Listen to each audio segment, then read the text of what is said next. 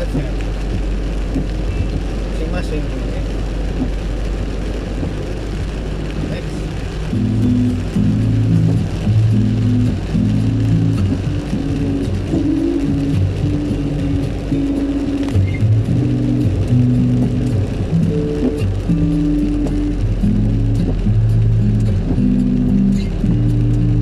Dering teleponku membuatku tersenyum di pagi.